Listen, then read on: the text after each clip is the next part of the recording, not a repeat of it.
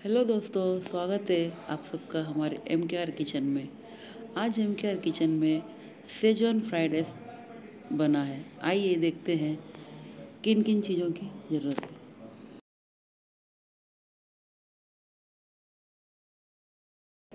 हमने यहाँ पर चावल लिए हैं, बासमती राइस साढ़े सात सौ ग्राम चावल लिए हैं।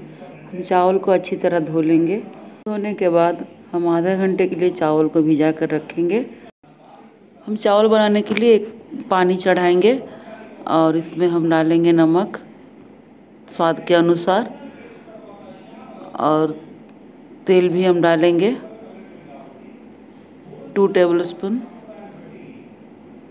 तेल डालना ज़रूरी है क्योंकि चावल खिला खिला रहता है और हम इसमें एक उबाल आने तक इसको ढक के रखेंगे। पानी उबल गया, अब हम इसमें चावल जो धो के रखे थे चावल, उस चावल को हम डाल देंगे दोस्तों। हमें चावल को कुक करना है एटी परसेंट अब हम देखेंगे चावल पक रहा है कि नहीं। एक बार चला के देखेंगे।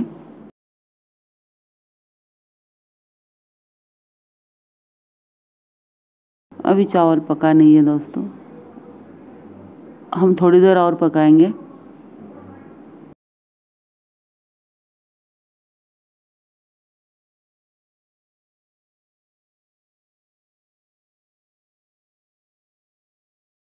अब हमारा चावल पकने को आया है दोस्तों। चावल पक गया है। अब हम इसको छानेंगे। अब हम छानने जा रहे हैं।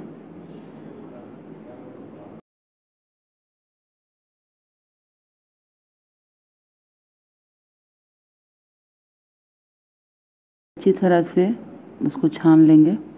अब हम इसे ठंडा होने के लिए रखेंगे। इसके बाद हम थोड़ा इसको फैला देंगे। चावल को पंद्रह मिनट रखना है।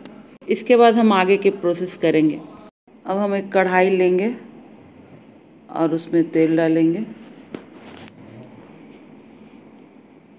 तेल गरम होने के बाद प्याज डालेंगे। प्याज मैंने दो प्याज लिए हैं यहाँ पर। आप चावल के हिसाब से अपना सब्जियों को आप ले लीजिए। मैं, मैंने साढ़े सात सौ ग्राम चावल ली थी, इसके हिसाब से मैं अपनी सब्जियों को डाल रही हूँ। आप जितने भी बनाना चाहेंगी, उस हिसाब से आप सब्ज़ियाँ ले सकती हैं।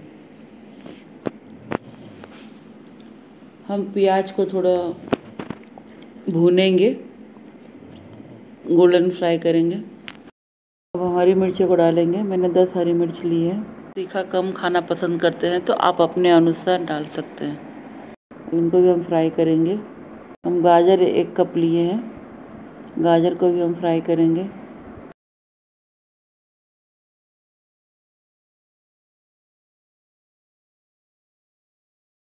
बीन्स आधा कप ली है। इनको भी फ्राई करेंगे।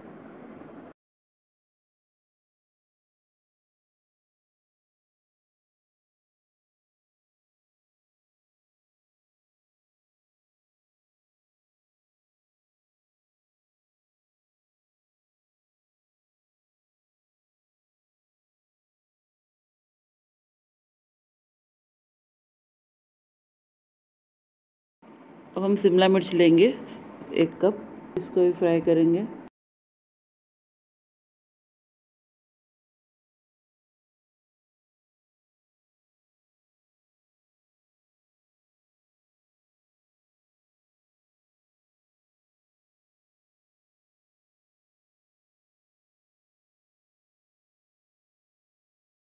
अच्छी तरह से फ्राई होने के बाद नमक लेंगे, दो चम्मच।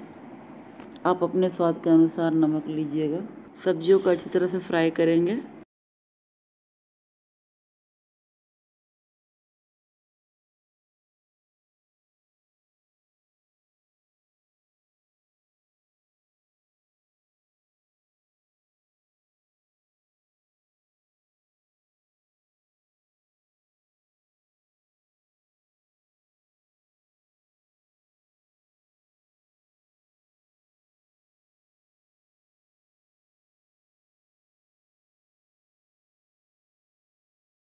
काली मिर्चों का पाउडर दो चम्मच।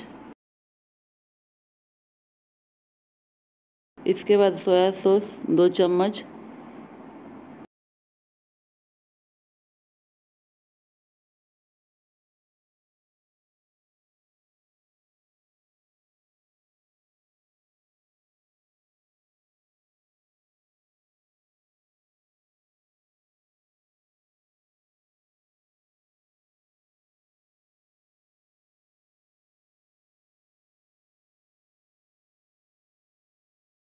विनीगर लेंगे दो चम्मच।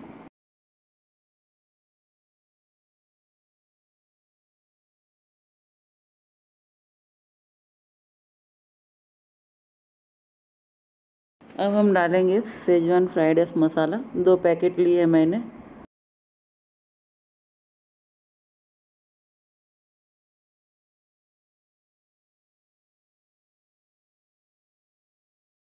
आप अगर 500 ग्राम चावल बनाएँगे तो एक पैकेट डाल सकते हैं। अब हम इन मसालों को अच्छे से भूनेंगे। मसालों के भूनने के बाद अब हम चावल को डालेंगे। अब हम चावल को डालेंगे। चावल को अच्छी तरह से फ्राई करेंगे सब चावलों को डालने के बाद। हमें तेज़ आँच पर चावल को फ्राई करना है।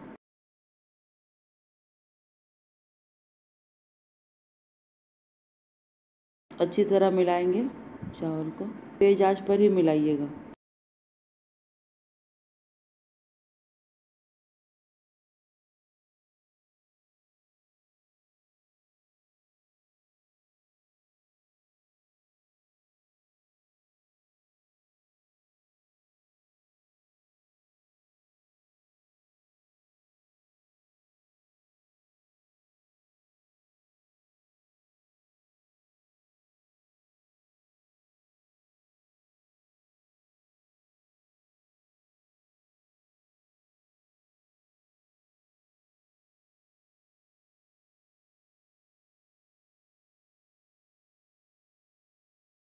अब हमारा सेजन फ्राइड राइस रेडी हो गया है, अब हम सर्व करेंगे।